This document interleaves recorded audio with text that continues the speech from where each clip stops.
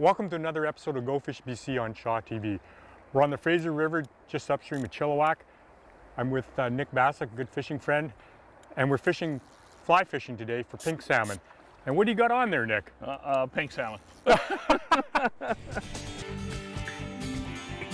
Freshwater Fisheries Society of BC, Go Fish BC on Shaw TV with your host Brian Chan from the Freshwater Fisheries Society of BC. Go Fish BC is brought to you in part by Freshwater Fisheries Society of BC, River City Marine, and Surplus Herby's.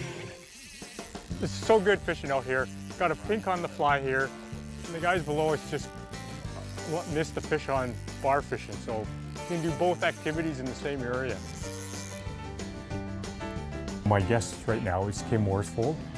And Kim, what do I need to go spin fishing and fly fishing for pink salmon, which I hear there's millions of them in the river. It's a lot of fun right now. Um, for spin fishing for the pinks right now, you typically just need a trout spinning rod, uh -huh. medium action rod uh, with a lure like you have in your hand here. A lot of pinks. A lot, lot of, pinks pink right now. Yeah, yeah. Pink is kind of the thing for pinks. Always go for something pink when you're fishing yep. for pinks. And they're close to shore, and there's millions of them coming up. Yeah, you don't need to cast very far. You know, 10 feet away, and you can you can hit your fish.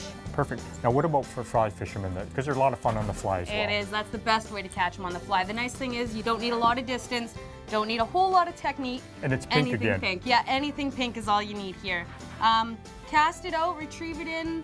Uh, float line, sink tip is basically what you yep. need there. Yeah. So uh, you could do it with a floating line or you could do it with a sinking tip line, a 10 yes, foot, 15 can. foot sink yep. tip. Swinging it through the water. And again, it's for pinks, it's pink. Pink for pink.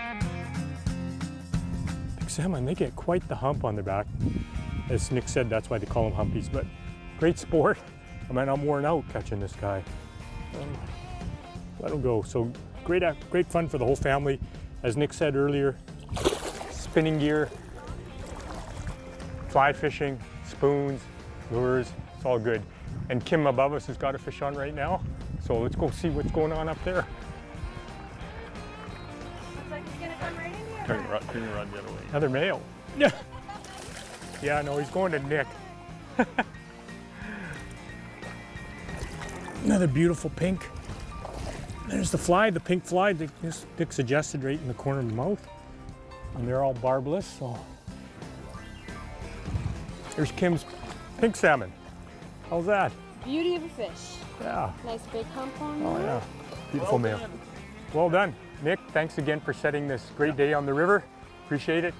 And um, Kim, thanks for your help as well, catching a few Definitely. fish. Thanks for watching this episode of Go Fish BC on Shaw TV. Look forward to seeing you in another great place in southern BC next week. Freshwater Fisheries Society of BC, Go Fish BC on Shaw TV with your host Brian Chan from the Freshwater Fisheries Society of BC. Go Fish BC is brought to you in part by Freshwater Fisheries Society of BC, River City Marine, and Surplus Herby's.